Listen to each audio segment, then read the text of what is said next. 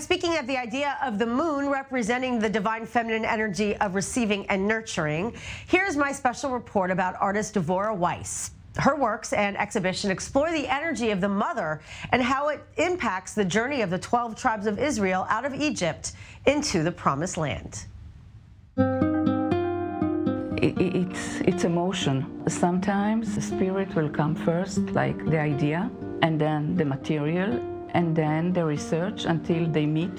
And sometimes the mind will come last, and then I discover through the layers, through the, the forms, through the um, uh, composition. Multidisciplinary artist Dvora Weisz is casting a new light on the journey of the 12 tribes of Israel. So each side were three tribes. And I knew that what I have to do is to put the 12 tribes the way they were stationed around the Mishkan during the journey in the desert.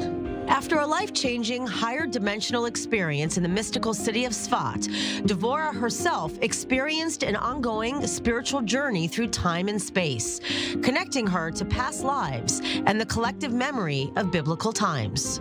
I'm with them, but I'm not there. We are a long chain, we are connected.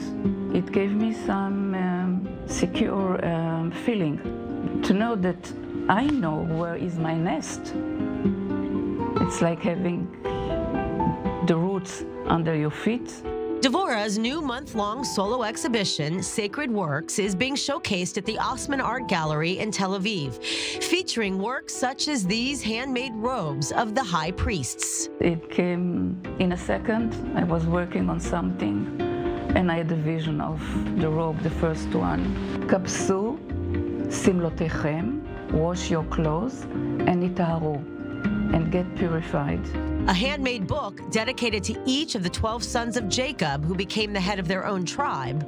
There is a secret in the blessing that the mother gave to each son that was born. And I decided to cover it with clay and uh, with some jute because our role in life is to discover who we are, what is our role, and a complementary textured relief work on canvas with the kippot of each son of Jacob.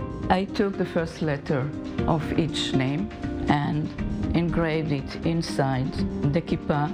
It looks like clay, but it's also made out of fabric covered with pigments of stones that I have collected. Dvora's mixed media paintings are full of rich colors and textures and represent Moses growing up in the house of Pharaoh, long before delivering the Israelites out of captivity in Egypt. There is a reason why uh, Moses was in the palace of Pharaoh. And then he went back and he knew what to do and how to lead the tribes of Israel. So the gold represents the um, Egypt um, richness. Moses ultimately died before setting foot in the Promised Land. He's already lying on his deathbed. We don't actually know where uh, Moses is buried. Uh, he like disappeared, but he left in each one of us a light. So spiritually, he's there among us. Dvora's first major painting of Moses and his staff can be called prophetic art. I wasn't calling for Moses. I wasn't thinking of Moses. Actually, I was painting upside down. I have to, to turn it over in order to understand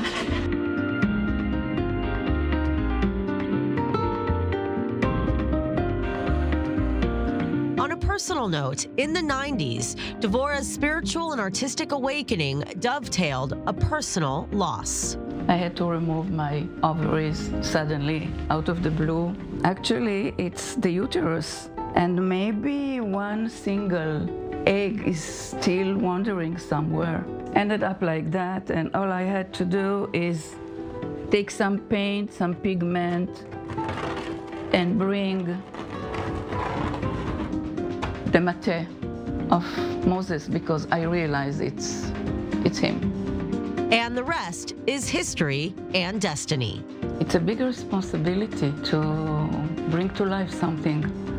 Uh, I have to be not sure about the outcome, but to be sure that I am in balance and uh, I am in the right uh, vibration. Emily Frances, I 24 News.